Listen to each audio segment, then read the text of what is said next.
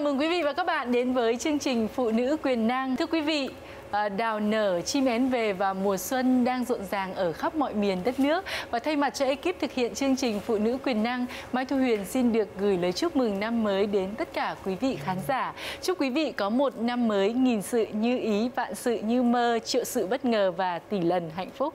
Và thưa quý vị, cũng như là thường lệ, ngày hôm nay mai thu huyền có cơ hội được trò chuyện với hai nữ khách mời rất là xinh đẹp, là những người phụ nữ tài sắc vẹn toàn. Xin được trân trọng giới thiệu sự tham tham gia của ca sĩ Vân Khánh à, và doanh nhân Nguyễn Thu Huyền à, và không biết là lời nói đầu tiên mà hai vị khách mời sẽ muốn dành những lời chúc mừng năm mới đến khán giả là gì ạ? Vân Khánh xin chúc cho tất cả quý vị một năm mới vàng sự như ý. Một năm mới lại đến, à, Huyền muốn gửi tới tất cả các quý vị lời chúc mừng năm mới toàn thể gia đình vạn sự cát tường an khang thịnh vượng. Mỗi một dịp tết đến thì người ta vẫn thường nói một cái câu đó là thịt mỡ dưa hành câu đối đỏ uh, cây nêu tràng pháo bánh trưng xanh. Và ngày hôm nay thì chúng ta đang ở một không khí tết thì mai thu huyền cũng uh, như là ekip cũng muốn gửi tặng đến hai chị. Mỗi người một câu đối ạ. Xin uh, được tặng chị ạ À, Mai Thu Hiền có thể mời chị à, Vân Khánh à, đọc lên câu đối của mình được không ạ? Đất nước phồn vinh câu chúc Tết gia đình hòa thuận thiệp mừng xuân Dạ vâng, đây chính là câu đối mà ekip thực hiện chương trình muốn gửi tặng đến gia đình chị nhân dịp đầu xuân. Vậy thì chị có thể kể một cái kỷ niệm nào đó về Tết mà chị nhớ nhất đến với gia đình của mình không ạ? Như à, mọi người cũng biết rằng cái miền Trung Tết thì rất là lành, đón giao thừa xong là tất cả bà trong gia đình lại xung vầy với nhau. Lúc đó Khánh còn nhỏ lắm và nhớ là mẹ mua cho được cái áo mới à, là để mặc lên mà chị mặc được trong đêm giao thừa thôi. Ừ. Mặc xong dục xíu mẹ lại bắt cởi ra để đi ngủ. cho nên là cái cảm giác nó hồi hộp mong chờ để được mặc cái áo áo mới. Còn là lúc đó là mẹ nấu bánh trứng này làm củ hành củ kiều này. Rất là nhiều cái món mà cảm thấy rất là hào hức và cảm thấy rằng một cái tết là cực kỳ là hạnh phúc đối với bản thân mình cũng như cảm thấy rất là ấm cúng khi được cả gia đình quây quần để cùng uh, trò chuyện. Còn à, chị Huyền thì sao ạ? Xin mời à, chị có thể đọc câu đối của mình câu đối của chị là mẹ vui nguyện ước xuân hạnh phúc con mừng cầu chúc Tết an khang. Cái Tết hồi xưa ấy thì không như bây giờ thiếu thốn đủ thứ mà đợi đến 27 Tết mẹ đèo trên một cái xe đạp thống nhất đi ra phố Trần Nhân Tông ừ. mua được à, một bộ quần áo mới thì à, chỉ đúng 30 Tết mới được mặc thôi thì năm đấy thì cũng là cái năm mà kỷ niệm nhất là mẹ bảo là thôi sửa cái áo của mẹ đi ừ. à, năm nay mẹ không có thưởng Tết ừ. mình là chị cả mà thì mình cũng không đòi nhưng mà cũng buồn trong lòng lắm ừ. nhưng mà đến 29 Tết thì mẹ nghĩ nào mẹ lại mua cho mình một cái áo len, một cái áo len mỏng mà tết hôm đấy thì rất rét rét lắm. Nhưng mà vẫn sung sính cái áo đi đi nhặt những cái xác pháo. Hồi đấy thì vẫn được đốt pháo, thì nhặt những cái xác pháo và cảm thấy là bây giờ nghĩ lại thì đấy là một điều rất hạnh phúc. Vì là mẹ đã dành những cái gì tốt nhất cho mình. Còn bây giờ thì Mai Thu Huyền xin mời quý vị và các bạn sẽ đến với chuyên mục chuyện nghề để cùng lắng nghe những chia sẻ của hai vị khách mời về công việc của họ.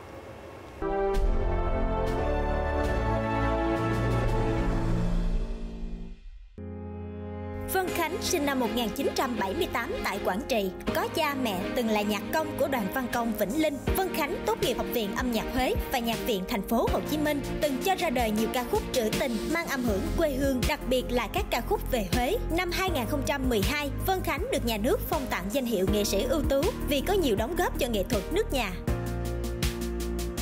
Doanh nhân Thu Huyền sinh ra trong một gia đình khá giả gốc Hà Nội. Cô tốt nghiệp chuyên ngành cử nhân luật. Hiện tại, Thu Huyền là CEO, thành viên hội đồng quản trị Ribeto Group, tập đoàn dược phẩm Nhật Bản, nằm trong top 100 doanh nghiệp uy tín tại Việt Nam, nhận cúp trái tim vàng vì cộng đồng 2018, top 50 tâm hòa tỏa sáng 2018. Nếu mà nói về những ca sĩ mà chuyên hát về nhạc Huế thì chỉ có một cái tên đó là Vân Khánh đúng không ạ? Vậy thì Mai Thu Huyền cũng muốn ờ, hỏi chị là cái cơ duyên nào đưa chị đến với con đường âm nhạc cũng như là tại sao mà chị lại lựa chọn dòng nhạc uh, quê hương, đặc biệt là hát những ca khúc về Huế? Lúc nhỏ đã đam mê ca hát rồi và thường xuyên tham gia những phong trào của trường, của tỉnh. Và cứ vậy thôi và thích lắm. Và đến khi mà học cấp 3 vẫn trong lúc các bạn cùng trang lửa thì lại là um, bắt đầu cùng ờ, nhau bàn là mình sẽ vào trường đại học nào. Thì trong đầu khánh cũng không có một suy nghĩ nào là đi học đại học khác.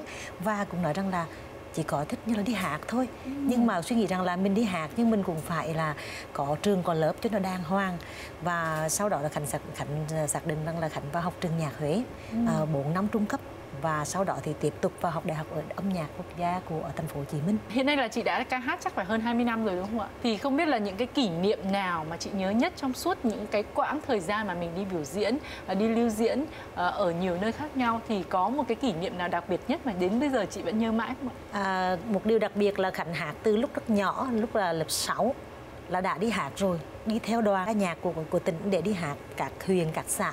Và luôn luôn lên sân khấu với một cái động tác đó là chào đội viên thì hồi xưa lúc mà khánh đi diễn trang điểm là phải nhờ mấy chị trong đoàn mấy chị làm xong rành thì mới làm mặc cho khánh. Ừ. à, xấu đẹp thì cũng phải chịu. Lên có một cái kỷ niệm rằng là khánh không biết mang giày có gót mà người lúc nào nhỏ xíu xíu. Về mấy cái tỉnh á mấy đoàn ấy chị thì người ta chỉ làm giả chiến thôi. Ừ. thì là cái gót giày nó nhọn thế này đang hát uh, bài mẹ ta còn mẹ trên đời như bông hồng trên áo. Nhọn đi không được nữa tức là gọt dây nó mắc xuống dưới đó. Mà lúc đó là con trẻ con mà ừ. không biết xử lý không có kinh nghiệm xử lý sân khấu mà đứng trốn chân về đó. Cười ta con mẹ trên đời mà đến khi hạt xong cũng biết làm sao. Không biết làm sao đi biết làm sao mà đi vào nữa. Mà lột dây ra thì sợ mình bị lung. Cho nên không dạo lột dây ra. Không biết làm mà đừng mà muột rợt nước mắt luôn á. Mà cái sống là bắn nhà cứ mấy người anh đằng sau này em đang hạ xong vào? Không vào. Vào không được vào không được. Mà cứ như thế này này cái khán giả vậy thì cứ cười. Cái xong biết làm sao ấy Vân Khánh xin lỗi quý vị khán giả. Ờ, vì sự cố Vân Khánh bị mắc gột dây vậy này cho phép Vân Khánh rút dây ra. Tức là nó rất là mộc mạc mà nó yeah. người nghĩ lại đúng là mình ngây ngô thì nhưng mà những cái kỷ niệm đó thì sau này bây giờ là cũng mấy chục năm trong nghề rồi mình thấy nó là một cái một cái sự đúc kết. Tức là để mình có thêm nhiều cái dạng dày kinh nghiệm và những cái thời gian khổ như vậy nó lại tối luyện thêm cho mình là dạ, những cái vâng. sự ờ, nỗ lực chịu khó nếu như mà ngày xưa thì cái dòng nhạc quê hương của dân ca thì cũng khá là thịnh hành ừ. nhưng mà rõ ràng là trong thời gian gần đây khi mà với sự phát triển uh, của những cái dòng nhạc trẻ và đặc biệt là sự lên ngôi của dòng nhạc bolero ừ. thì không biết là với một cái ca sĩ mà chuyên hát nhạc quê hương như chị có gặp những cái khó khăn gì không và liệu chị có định thay đổi để theo xu hướng hiện nay không hay chị vẫn quyết định giữ đúng cái dòng nhạc uh, quê hương của mình ạ? À, thực ra là khánh hát ờ, rất nhiều dòng nhạc khác nhau nhưng có lẽ khánh nghĩ à, mọi người khán giả đã quá ấn tượng với khánh về cái dòng nhạc huế chứ thực ra khi mà khánh năm 98 khánh vào sài gòn á à, để lập nghiệp thì khánh đã từng hát phong tra ừ. thì khánh cũng hát nhạc tiên chiến và khánh cũng có hát các cổ ừ. đó tức là thời đó khánh vào thì tất tất tần tật dòng nào khánh cũng hát hết yeah. Dạ. à, tức là mình để mưu sinh mà à, nhưng mà sau một quá trình mấy năm sau khi mình đi hát từ từ mình đúc kết được rằng là mình chọn ra cho mình một cái lối đi riêng yeah. Dạ. thì à, thực ra khánh hát cũng rất là nhiều thì khánh nghĩ cái chuyện mà bây giờ cả cái dòng nhạc nó có cái sự xoay tua như vậy thì nó rất là bình thường nó là một cái quá trình phát triển như vậy không có gì phải bất ngờ cả quan trọng là khánh nghĩ rằng khánh theo kịp và linh hoạt được với cái thời đại tức là khánh vẫn theo kịp về uh, chẳng hạn như mình cũng uh, duy trì cái dòng dòng hát cái nỗ lực của mình hoặc là duy trì cái cái, cái, cái hình thức nhan sắc mình cũng phải trau chuốt hơn về cái cách biểu diễn mình cũng phải thay đổi hơn làm sao cho nó phù hợp nó vẫn giữ đúng cái chất của mình nhưng mà nó không bị lạc lõng không bị rơi xa so với những cái gì nó cái hiện đại nó đang phát triển như vậy yeah. Dạ. thì uh, khánh nghĩ rằng là mỗi dòng nhạc là có một cái đối tượng khán giả riêng mà đặc biệt cái dòng nhạc uh, trữ tình này hoặc là quê hương dân ca thì cái đối tượng khán giả rất trung thành yeah. Dạ. và rất là lâu năm à, mặc dù là không có ồn ào thôi nhưng mà cái đối tượng khán giả đó rất là bền bỉ ừ. và luôn luôn hướng theo những cái bước chân của khánh được biết đến là nữ ca sĩ chuyên hát về nhạc quê hương, đặc biệt là những ca khúc về Huế. Vân Khánh ghi dấu ấn trong lòng khán giả qua ca khúc Huế Thương của cố nhạc sĩ An Thuyên. Bao nhiêu năm đứng trên sân khấu, hình ảnh Vân Khánh luôn gắn bó với tà áo dài cùng chất giọng mượt mà sâu lắng chiếm trọn trái tim của người yêu nhạc, dành nhiều tình yêu cho âm nhạc dân tộc cũng như say mê dòng nhạc bolero. Nhiều năm qua, Vân Khánh là gương mặt quen thuộc của nhiều chương trình hát bolero. Đến với câu chuyện của chị Thu Huyền ạ, Mai Thu Huyền cũng rất là muốn lắng nghe chị chia sẻ về cái cơ duyên nào để đưa chị đến với cái công việc kinh doanh. Và ừ. trong khi đó thì chị lại là một người tốt nghiệp về ngành luật đúng không ạ? Đúng rồi. Huyền thì tốt nghiệp là luật về chuyên ngành luật kinh tế. Sau đó thì giữ 10 năm chức vụ manager của tập đoàn Abbott. Ừ. Nhưng mà một lần rất là tình cờ gặp lại cậu em mà mình chơi cách đây 14 năm rồi à, em là một việt kiều bên nhật thì cậu biết là chị bị tiền đình mà mà ai mà bị tiền đình rồi mới biết cái khổ của nó đâu. Ừ. rất chóng mặt rồi đổ nhà đổ cửa mọi cái rất là khổ. Thì chị cũng uống rất uh, nhiều thuốc nhưng mà cái cái cái tình trạng không cải thiện được nhiều lắm. Thì cậu mới bảo là chị uống cái này đi. Mình bảo chứ cũng lại là thuốc thì chứ là cái gì đâu. Ừ. thì ừ thì thôi cứ nhận cho em nó vui. À, sau khi uống thì thấy trời ơi nó khác hoàn toàn nó thay đổi có nghĩa là sau 2 tuần sử dụng thì không thấy tình trạng à, hoa mày chóng mặt đổ nhà đổ cửa nữa. Ừ. và em muốn nói là em muốn mở văn phòng đại diện của hãng Ripeto tại Việt Nam. Ừ. à, mình thì lúc đấy cũng không nhận lời đâu. Ừ. đang có một công việc tốt như vậy tại sao nhận lời em làm cái gì? Cứ để đấy thôi hãng sau đấy em lại gửi cho mình một cái sản phẩm thuốc đấy là Fukuzusen phòng chống và điều trị ung thư. Ừ. thì thực sự là cái sản phẩm này nói đến ung thư thì sợ lắm nhưng ừ. mà bố mình đã từng bị rồi ừ. mình bảo thôi cứ lấy cho bố dùng thử đi thì khi mà uống bố uống thì thấy cái sức khỏe của bố cải thiện một cách tuyệt vời là ừ. bố ăn ngon hơn ngủ sâu giấc hơn ừ. mình bảo thôi đây là sứ mệnh của mình rồi ừ.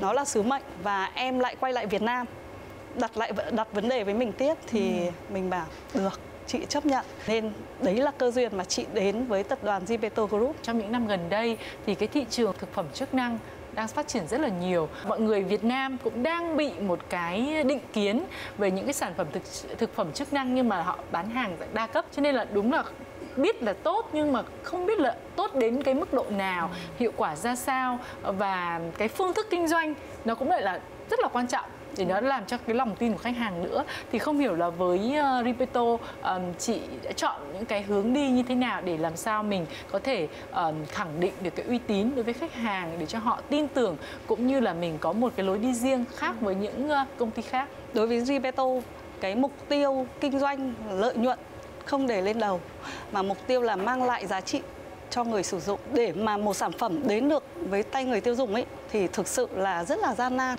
Nhưng mình và các đội ngũ à, cấp trên cùng với nhau định hướng là sản phẩm được tốt hay không tốt do người tiêu dùng khẳng định, chứ không phải do mình PR sản phẩm. Đối với người Nhật, họ muốn mang những cái giá trị thực và mọi cái giá trị thực phải đến từ người thực. Nên những cái chiến lược của kinh doanh của Zibeto Group là đi chậm nhưng chắc và là những truyền thông từ những người bệnh đến tay người bệnh. Thế còn cái hướng đi tiếp theo của mình thì sao ạ? Bởi vì hiện nay thì như Mai Thu Huyền có theo dõi những cái hoạt động của chị thì được biết là chị đang tiếp tục triển khai ờ, hệ thống Candy đúng không đúng ạ? Rồi. Thì bây giờ những cái chuỗi như thế này thì uh, có khác gì so với những cái sản phẩm của Rivito hay là nó nằm trong cái những một trong những cái chiến lược hoạt động của Rivito? À, Canby là một trong những uh, dự án của Rivito. Khi mà bạn bước chân vào cái siêu thị Canby đó, bạn như được mang cả một thế giới nước Nhật về gia đình bạn. Ừ. Uh, họ sẽ chăm sóc cho bạn từ những cái nhỏ nhặt nhất đến uh, từ da, tóc, sức khỏe và à, điều trị và hỗ trợ cho bạn trong quá trình điều trị bệnh. Bận rộn với những chuyến đi công tác cũng như gặp gỡ các đối tác nước ngoài, doanh nhân Thu Huyền dành thời gian tham quan các nhà máy chế biến sản phẩm thực phẩm chức năng của tập đoàn Riberto cũng như nắm bắt quy trình điều chế ra sản phẩm. Với chị, được học hỏi và giao lưu với nền văn hóa cũng như cách làm việc của người Nhật là kim chỉ nam hướng đến thành công như hiện tại. Ngoài công việc kinh doanh, doanh nhân Thu Huyền còn được biết đến là một người có trái tim nhân ái với nhiều hoạt động thiện nguyện, giúp đỡ các hoàn cảnh khó khăn cũng như nhà tài trợ cho các chương trình điều trị cho bệnh nhân nghèo khắp cả nước. Mai Thu Huyền muốn à, các chị có thể là à, chia sẻ thêm về những cái chặng đường, những cái mốc quan trọng nhất trong cái sự nghiệp của mình được không? Xin mời chị Khánh ạ. À, đối với Khánh thì là à, cái ca khúc mà đưa Khánh đến với công chúng ấy, đó là ca khúc Huế Thương ừ. của cố nhạc sĩ An Thuyên. À, lúc đó là Khánh nhớ năm 96 là Khánh đang còn là sinh viên của uh, trường nhạc Huế thì uh, được thầy cô là cử đi trong cái cuộc thi uh, tiền hạng học sinh sinh viên chuyên nghiệp toàn quốc tại Hà Nội thì lúc đó là mới chọn cái ca khúc Huế Thương. Thực ra là ca khúc này trước đó là cũng có một số nghệ sĩ ở Bắc là miền Bắc đã hát rồi. Và khi mà nói là cái bài này là đúng, kiểu như là chất của sinh viên luôn cứ với hình ảnh cô gái Huế áo tím, thì là giao cho Khánh hát. Thì Khánh cũng rất là lo, tại vì mình là một sinh viên mới tuấn nè chưa có kinh nghiệm. Thì nhưng mà khi Khánh nghĩ có lẽ thời điểm đó là Khánh hát bằng cái sức trẻ, bằng cái nhiệt huyết với những cái gì mình cảm nhận thật là chân thật nhất thì khi Khánh ra đó năm 96 thì Khánh được giải cao trong cái cuộc thi đó và cùng các khúc Huế Thương thì uh, năm 96 Khánh lại tham gia cái của cái đội của trường đại học Huế à, là để đi thi SV 96 cũng là cuộc thi đầu ừ. tiên SV đầu tiên à, lúc đó anh Lại Văn Sâm dẫn yeah. Dạ. thì à, Khánh cũng với một cái trong cái tiết mục tài năng À, rồi sau đó cũng với các khúc Huế Thương là Khánh đã xuất hiện vào năm 97 đầu cầu truyền hình đầu tiên ừ. à, là Hà Nội Huế Sài Gòn yeah. Dạ. thì khi mà giáo sư âm um, độ um, chứ những Lân Dũng á yeah. Dạ. thì là sẽ là người yêu cầu một các khúc thì Khánh ở đầu cầu Huế sẽ trình bày các khúc Huế Thương và Khánh nghĩ rằng là ca khúc Huệ Thương là một cái bậc ngọt rất là lớn trong cái sự nghiệp ca hát của Khánh và uh, cùng ca khúc Huệ Thương đó thì Khánh đặt chân vào trong miền Nam với uh, chương trình duyên dạng Việt Nam của Báo Thanh Niên thì chính vì như vậy là Khánh nghĩ rằng là ca khúc đó là ca khúc đánh dấu rất quan trọng trong cái sự nghiệp ca hát của Khánh. Vâng, vậy còn với chị Thu Huyền thì sao ạ? Đối với mình ấy thì à, đưa được một sản phẩm thuốc tốt thực phẩm chức năng tốt của Việt Nam à, của Nhật về Việt Nam. Đó là một cái bài toán nó cũng rất là ngang dài. Và nữa là để một cái sản phẩm như là Fukuzusen điều trị và hỗ trợ ung thư ấy mà để cho người bệnh dùng thì cũng đấy là một điều rất là khó vì bệnh nhân ấy họ đang bị hỗn độn giữa rất nhiều các sản phẩm thuốc. Thì cơ duyên tất cả chị nghĩ đó là cơ duyên thì là chị đã được gặp một bạn bệnh nhân đó là em Hương người Quảng Trị đấy là một cô giáo à. khi em ý được khi mà truyền thông ấy biết đến bạn ấy là bạn bị ung thư phổi nhưng bạn ừ. lại cực có nghị lực sống rất là mãnh liệt ừ. và bạn truyền cái nghị lực đấy cho những người bị ung thư thì à, mình bay thẳng vào Sài Gòn gặp bạn ấy ở viện trợ rẫy ừ. khi gặp được bạn bé Hương đấy thì xúc động lắm à, bạn là một người rất nghị lực bạn ấy à, họ truyền hóa chất đến ba, ba lần rồi ừ. đầu chọc hết rồi ừ. thế nhưng bạn ấy vẫn cố để hát hát để truyền những cảm hứng cho những người bệnh ung thư ừ. thương lắm và khi bạn ấy uống cái sản phẩm này thì mới đầu thì bạn ấy vẫn hóa trị mà nôn sốt rồi là ho nhìn đứt ruột lắm sau khi bạn uống hai hộp thuốc thì mọi cái nó thay đổi hoàn toàn là bạn được ăn ngon ngủ ngon. Ừ. và những cái lần hóa trị sau của em thì em tương thích với thuốc hóa trị. Và bác sĩ bảo nó là một kỳ tích. Đây là một ừ. kỳ tích vì chưa ai bị ung thư phổi giai đoạn cuối là giai đoạn 4 mà tràn hết dịch màng phổi rồi mà lại được như thế này cái đấy nó là cái nguồn động lực cực kỳ mãnh liệt cho cho đội ngũ công ty ừ. và cho các nhà nghiên cứu ở giáo sư bên Nhật và cái người mà chị mà chị cảm thấy ơn nhất đấy là bố chị ừ. à, lúc đấy khó khăn lắm không có tiền đi vay thì bố chị bảo là con đang à, lấy cần à, cần tre câu cá mập đó con ừ. nhưng mà bố nghĩ con sẽ làm được ừ. con sẽ làm được miễn con quyết tâm à, vì câu nói của bố nên mình sẽ cố gắng ừ. mình sẽ cố gắng. Đó là cái điểm tựa và cái động lực lớn nhất của mình trong lúc khó khăn. Và tâm trạng của bố chị lúc này như thế nào khi con gái mình đã à, thành công ạ? bố vui lắm. Bố vui mà đôi khi nhớ con. Mình với bố thì cũng ở gần thôi nhưng mà nhớ con thì lại chỉ sợ là con bận không về thăm được thì cứ giả vờ gọi điện là con gọi nhầm cho bố à. Nhưng mà chỉ là cố để nghe được tiếng con gái để muốn là con về thăm bố một lúc. Cũng chỉ nhiều lúc chỉ về thăm được bố nửa tiếng một tiếng thôi. Thế nhưng mà bố cảm thấy vui và cái, những cái điều bố vui và bố khỏe, đấy là điều mà động lực mà chị mang sứ mệnh này phải mang đến cho người dân Việt Nam. Cái sức khỏe, cái sức khỏe mới là vốn quý. Khi mình có sức khỏe thì mình sẽ có tất cả. Cảm ơn hai chị rất là nhiều về phần chia sẻ trong uh, câu chuyện uh, nghề và bây giờ thì chúng ta sẽ tiếp tục uh, đến với câu chuyện đời để lắng nghe hai vị khách mời chia sẻ về cuộc sống của họ.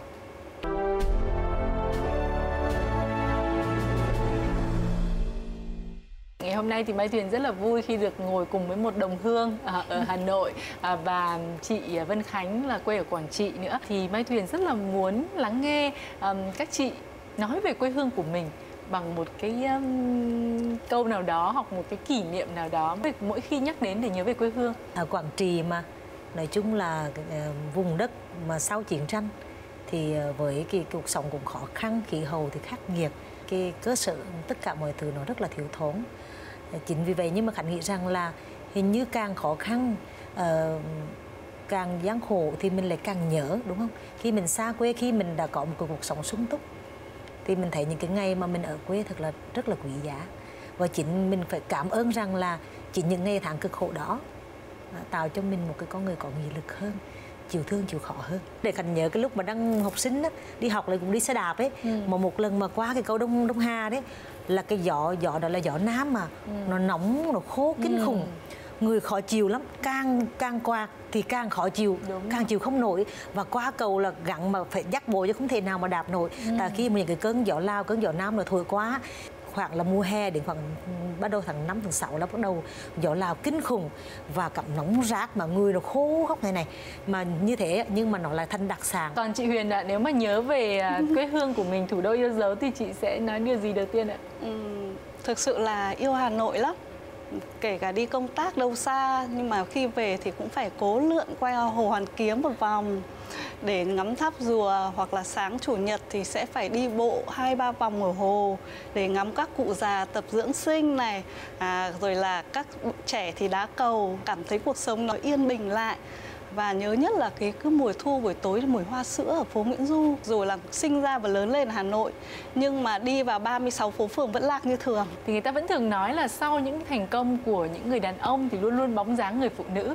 Vậy thì không hiểu là sau những cái uh, thành công của những người phụ nữ xinh đẹp như thế này thì bóng dáng người đàn ông của các chị thế nào ạ? Nghề thì nào cũng chừng mực nào đó. Mình cũng có một cái công việc mình yêu thích mình làm cũng được khán giả biết đến. Nhưng bên đó mình cũng muốn có một cái gia đình cũng có người chồng có những đứa con để mình có dịp chăm sóc để những lúc mà mình ngoài những cái lúc mà mình đi hát trên sân khấu rồi thì về nhà mình lại có cái không gian cái riêng tư của mình. Và hơn nữa cái à, cuộc sống của khánh khánh cảm thấy rất là viên mãn là khi khánh được ở gần ba mẹ. Còn chị huyền thì sao ừ. chị thì à, bây giờ cảm thấy rất là mãn nguyện vì chị có một gia đình nhỏ có một ông xã cũng biết chia sẻ lắng nghe những tại vì nghề của chị bận lắm đi tối ngày nhưng mà cũng có cái hậu phương đấy lo cho con cái ừ. lo cho à, thông cảm cho vợ và bên cạnh đấy thì là ba cô con gái có nghĩa là luôn luôn à, cố gắng giúp đỡ mẹ trong việc gia đình và nữa là các bạn ấy cũng tự học và tự hoàn thiện bản thân hơn để cho mẹ yên tâm công tác và cái điều mà chị cảm thấy là hạnh phúc là khi mà đi công tác hay gì nhưng mà luôn luôn chị thích nấu nướng ừ. nấu ăn cho bữa cơm buổi tối là luôn luôn phải chờ nhau về ừ. cùng nhau ăn cơm cùng nhau chia sẻ một ngày qua công việc như thế nào vui ừ. buồn như thế nào như lúc nãy chị Thu Huyền có chia sẻ là bố của chị Huyền là một trong những người có sự ảnh hưởng rất là lớn đối với cuộc đời của chị không biết là với chị Vân Khánh thì sao ạ thực ra là ba mẹ của Vân Khánh trước đây cũng là làm bên nghệ thuật hết. Ừ. nhưng mà sau này thì mẹ Khánh là chuyển ngành và Khánh phải nói rằng là trong cái cái bước đường ca hát của Khánh á, luôn luôn có ba Khánh giỏi bên bên bên cạnh. Chính vì vậy và hơn nữa thì ba Khánh là còn là người chơi nhạc cụ uh, dân tộc. Ừ. và thường xuyên đồng hành với Khánh vì Khánh hát dân ca. Cho yeah. nên là chồng các khúc này hoặc là đi biểu diễn này đôi lúc rất là cần. Thì ba luôn luôn đồng hành cùng Khánh. Khánh hát ca Huế cũng nhờ ba dạy biết đánh đàn tranh cũng nhờ ba dạy. Oh, đó tức là những cái việc đó mình cảm thấy rằng là rất là hạnh phúc. Tại vì trong cái chặng đường làm nghề của mình luôn luôn có ba chia sẻ luôn luôn có ba đồng hành bên cạnh. Và ngày hôm nay thì uh, chương trình Phụ nữ quyền năng cũng rất là vui khi được chào đón đến uh, phim trường của Phụ nữ quyền năng um, người cha của chị Vân Khánh. Và bây giờ thì xin được mời bác lên sân khấu cùng trò chuyện với chúng ta. Không biết là lúc mà ở bên dưới khi mà lắng nghe con gái của mình uh, chia sẻ về người ba và chị rất là biết ơn bác vì đã hướng dẫn chị để có được một nghệ sĩ uh, Vân Khánh như ngày hôm nay thì không biết là cảm xúc của bác như thế nào khi nghe con gái nói về mình ạ? Khi mà nghe con gái nói về mình bản thân tôi là cũng không biết nói thêm cái gì nữa bởi vì một đứa con của mình nó hiểu lại mình giống như mình nuôi nó và hiểu nó vậy ừ. tôi bảo với con tôi cứ cái gì hay là mình cứ thu nhận nhưng cái gì của mình đặc trưng của mình mình phải giữ ừ. à, và tôi chỉ luôn luôn nói với văn cảnh rằng là con cứ giữ được tức là cái tính cách của mình giữ được cái đặc trưng của mình nhưng đừng có hẹp hòi ừ. phải biết tiếp nhận những cái hay Vâng, chúc mừng chị vì có một người cha rất là tuyệt vời. Mai Thu Huyền tin rằng uh, với một cái sự tiếp xúc của bác thì chị Vân Khánh sẽ còn tiếp tục thăng hoa trong sự nghiệp nữa ạ. Và trong ờ, không khí Tết của ngày hôm nay ờ, khi mà chương trình lại mời được đến ờ, ca sĩ Vân Khánh, vậy thì chắc chắn là chị không thể nào không tặng cho quý vị khán giả một ca khúc về Tết có được không ạ? Khán giả đã rất là quen thuộc với Khánh với những ca khúc về Huế, nhẹ nhàng, trữ tình, sâu lắng. Và hôm nay thì à, với một không khí mùa xuân đang tràn ngập như thế này thì chắc chắn là phải là một ca khúc rộn ràng rồi. Mà nhưng mà không kém phần ý nghĩa và duyên dáng thì à, Khánh chọn một ca khúc của nhạc sĩ Hoàng Trọng gió mùa xuân tới để gửi tặng đến chương trình và tất cả quý vị khán giả. Mong một năm mới uh, thật nhiều niềm vui và hạnh phúc.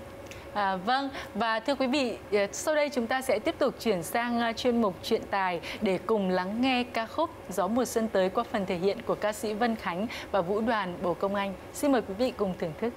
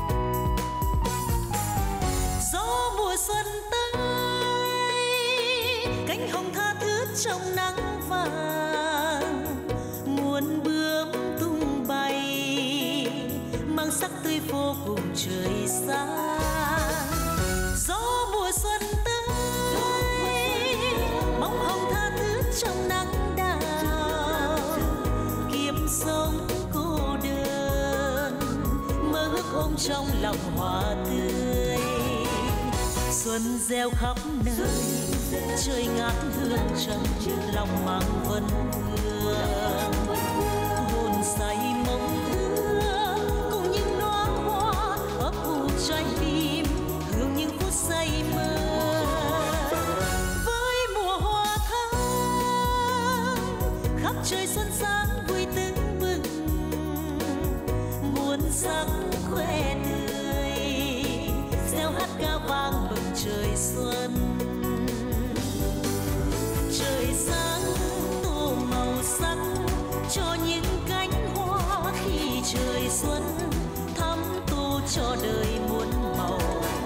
nồng ngát hương thơm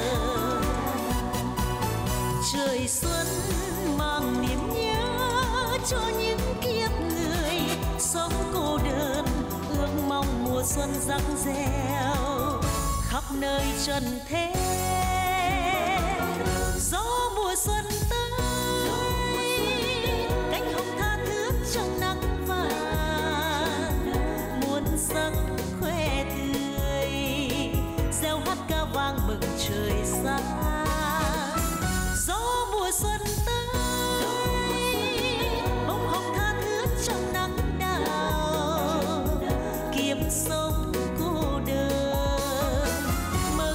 trong lòng hoa tươi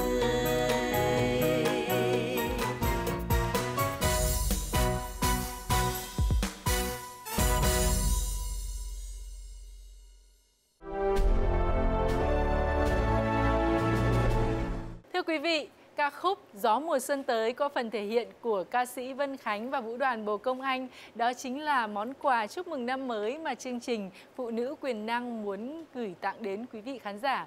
Và một lần nữa chúng tôi rất là cảm ơn quý vị và các bạn đã quan tâm theo dõi chương trình. Mai Thu Huyền xin được thay mặt cho ekip thực hiện, ờ, xin gửi lời chúc mừng năm mới đến tất cả quý vị khán giả. Một năm mới đa tài, đa lộc, đa phú quý, đắc thời, đắc thắng, đắc nhân tâm. Và rất là mong sẽ được hẹn gặp lại quý vị ở những chương trình tiếp theo. Xin chào và hẹn gặp lại!